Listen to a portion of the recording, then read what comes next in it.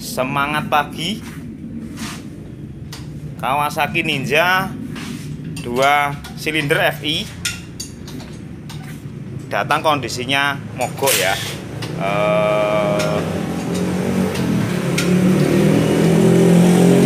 katanya yang punya motornya jarang dipakai. Setelah kita eksekusi ternyata seperti biasa. Kabel kabelnya banyak yang dimakan si Jerry ya.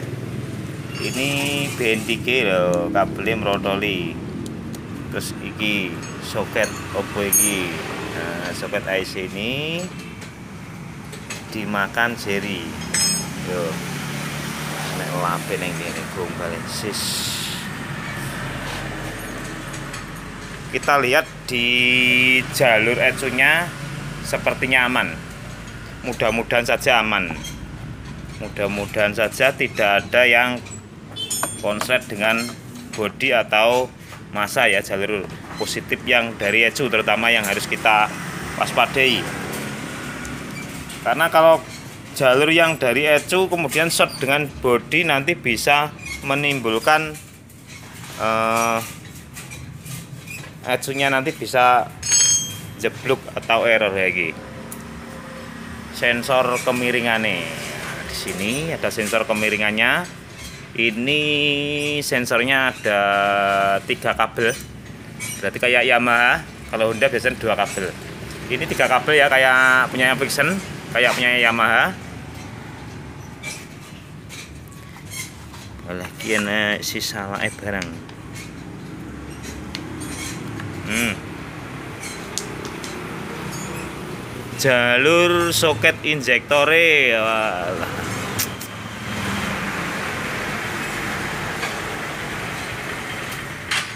Nggih, pripun Mas? e? Siap.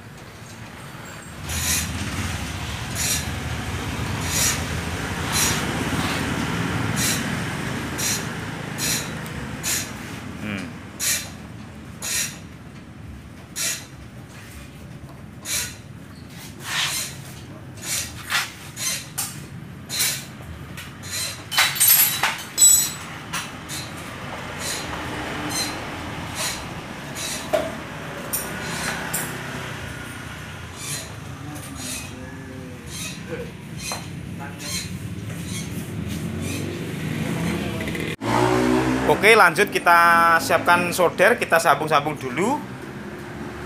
Ya nanti kita lanjutkan kita scan di sini DAC nya yang nyari eh, DAC nya Kawasaki ya di sini. Nah ini. Di bawah ini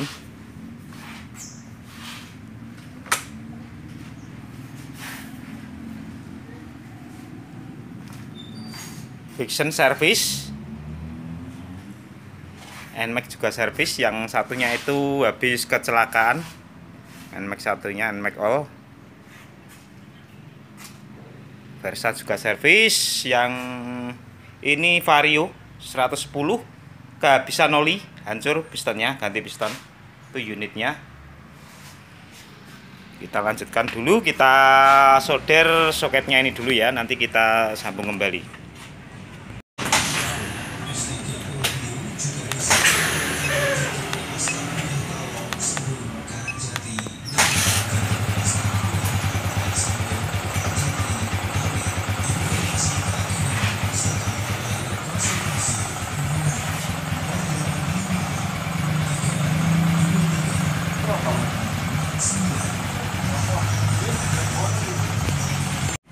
Aki sudah terpasang, kita lanjutkan.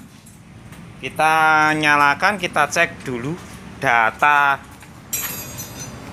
Kita menggunakan scanner J-Diac 100 Pro.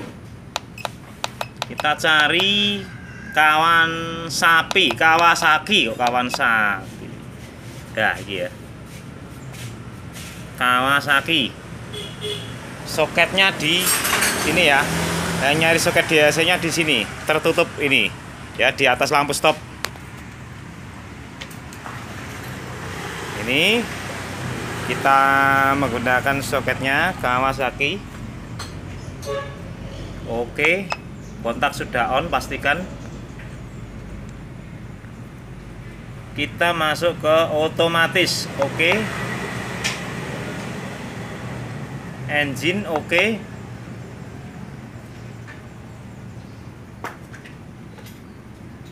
oh kontaknya belum on sorry guys.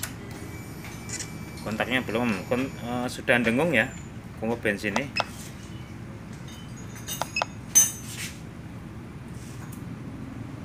Nah.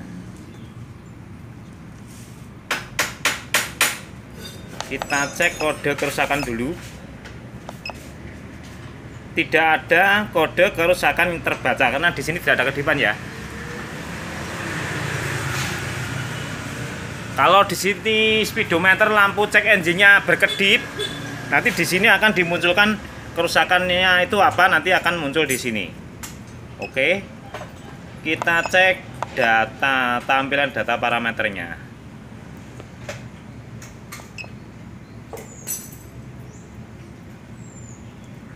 Support apa enggak ya? Mudah-mudahan support ini. Nah, alhamdulillah. Bukan gas, 1,1 tekanan udara masuk. 771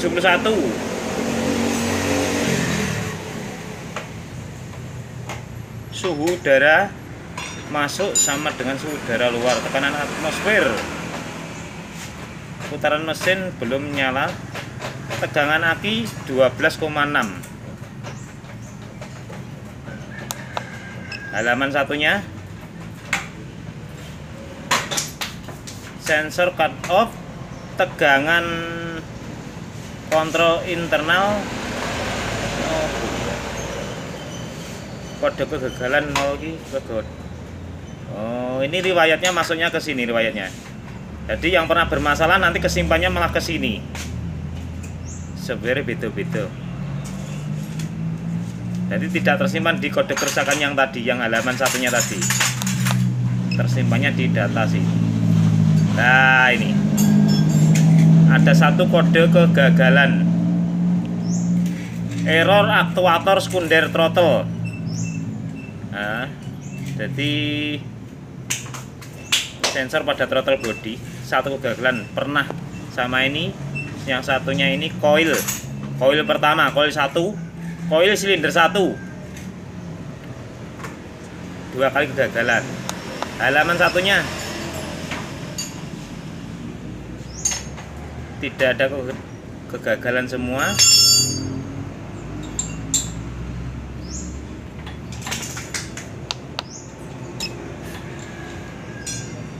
Ini tidak ada AFR atau full tram. Motor ini belum menggunakan sensor O2 ya motor ini belum menggunakan sensor O2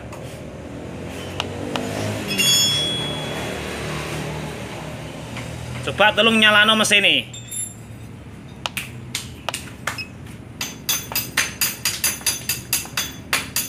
Eh, nyalakan. Bismillah. Terus bengong kok. Nah,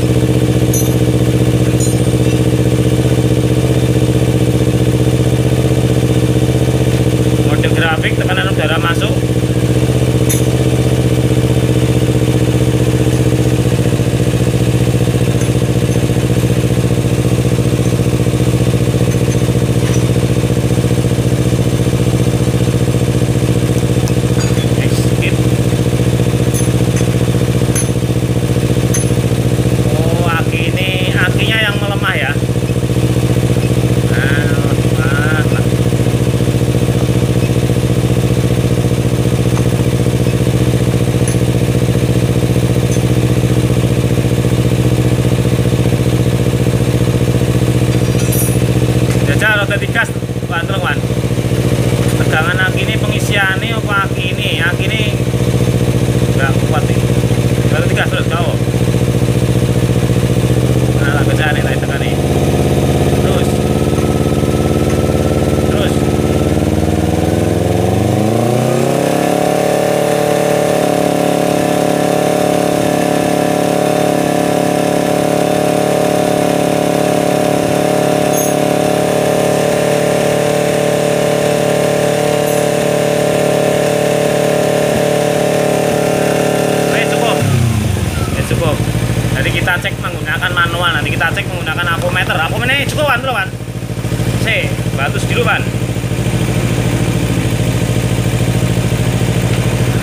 yang penting motornya sudah bangun dari tidurnya ya.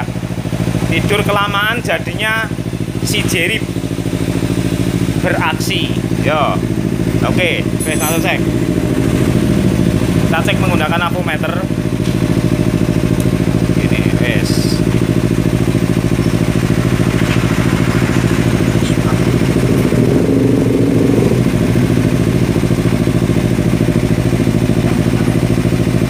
Walah. 12.30 ayo coba gas terus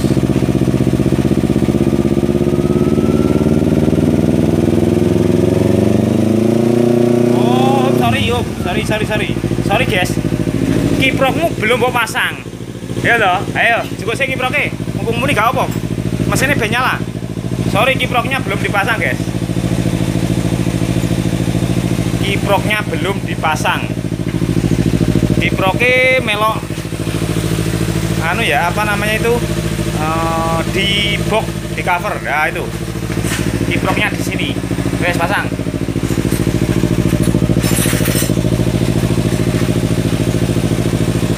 iki tumpang ngejoke iki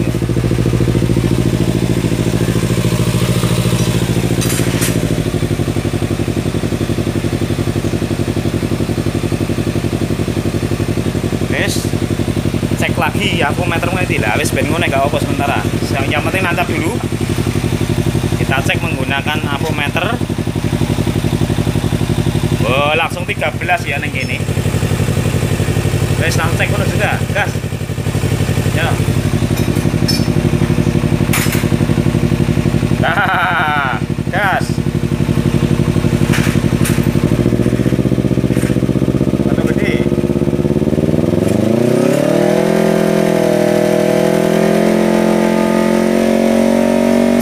Oke. Ayo gas. 13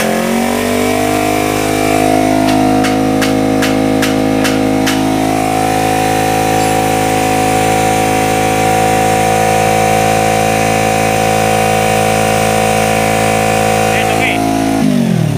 Oke. Wes bene wes. Wes gak usah dipateni mesinnya. Sih.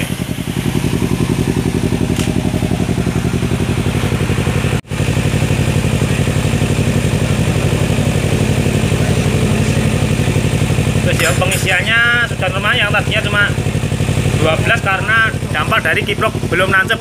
Kiproknya nempel di box ini ya. Nempel di box ini di bagian dalamnya.